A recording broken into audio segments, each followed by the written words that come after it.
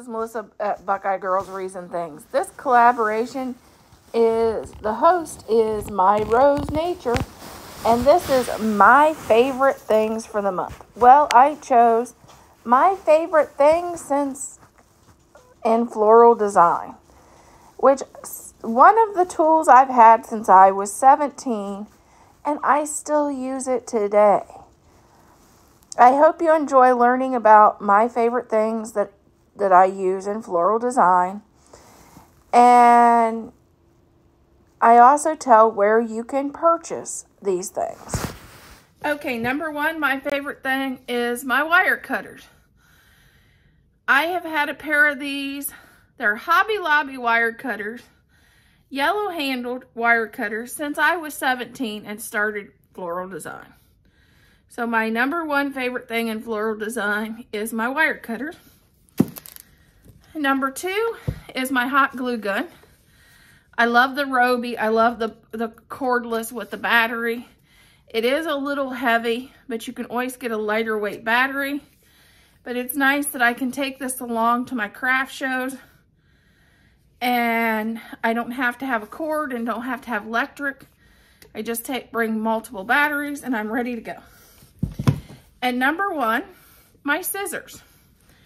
These comes in a pack of two at Lowe's. They stay sharp for years, even cutting uh, all the wired ribbon that I cut in floral design. And they're inexpensive. I think they're $8 for two pair. And you can get them on sale for even cheaper than that, normally around Christmas time. And I buy them in bulk when they go on sale. So those are the my three favorite things for floral design that I use in my floral design. I hope it helps and I hope uh, if you're gonna do floral, do wreath making, craft, that you think about some of these tools. Hello, these wire cutters are my one of my favorites. I've had them since I was 17. You can purchase them at Hobby Lobby. They are great for cutting the wires for your silk flowers. And they're great for cutting um, stems on flowers.